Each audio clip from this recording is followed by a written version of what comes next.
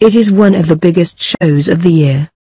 Yet, despite the fact it's expected to be a complete and utter sellout, tickets for Ariana Grande's forthcoming charity concert will not be available on most major ticket resale sites.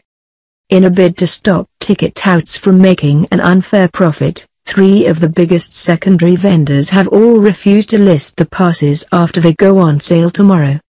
Ticketmaster, which has already confirmed it will not charge booking fees on tickets, said it would not allow them to be sold on either of its resale platforms, Getin and Seatwave.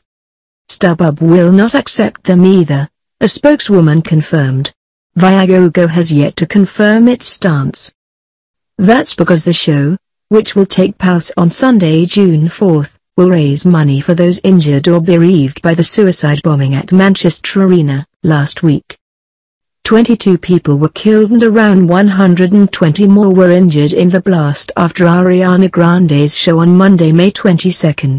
17 people remain in a critical condition in hospital.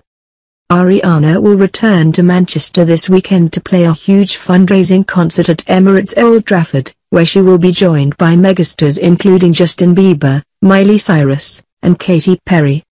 Coldplay, Pharrell Williams, Take That, The Black Eyed Peas, Usher and One Direction star Niall Horan are also on the star-studded lineup at the One Love Manchester show.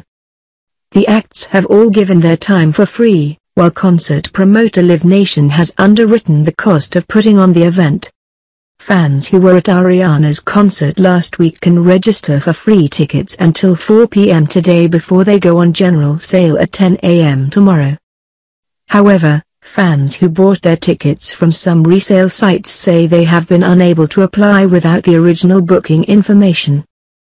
A Ticketmaster spokesman said, we are doing everything possible to extend the offer to all fans we can verify were at the show.